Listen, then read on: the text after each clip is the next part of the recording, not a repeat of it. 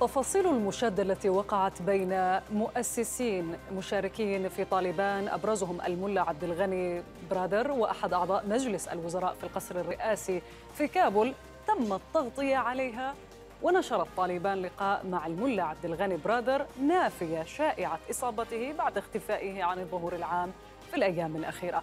برادر وخليل حقاني من هذه الجماعة الإرهابية والذي هو الآن وزير الشؤون لشؤون اللاجئين تبادل مع برادر كلمات قوية بينما تشاجر أتباعهما مع بعضهما البعض في مكان قريب من القصر الرئاسي.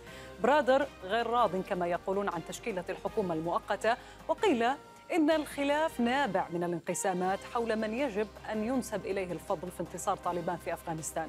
لطالما اعتقد برادر أن التركيز يجب أن ينصب على الدبلوماسية وهو من عقد الصفقة مع الولايات المتحدة الأمريكية.